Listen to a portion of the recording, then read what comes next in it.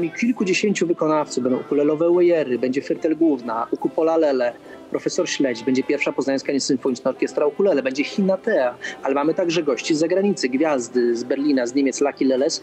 Oczywiście nie będą tutaj osobiście, tylko tak jak przez cały festiwal wszyscy zagraniczni wykonawcy nagrywali specjalnie nam dedykowane koncerty. I taki koncert będziemy tutaj transmitować. Oczywiście oni będą z nami tutaj na żywo via Facebook się komunikować.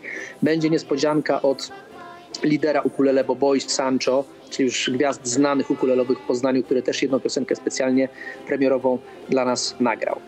No, będzie parę niespodzianek, będzie specjalna dedykacja od nas, od PPN-u dla właśnie poznańskiej opery w ramach urodzin 110-lecia. Cóż mogę powiedzieć, to trzeba przeżyć. Trzeba być z nami.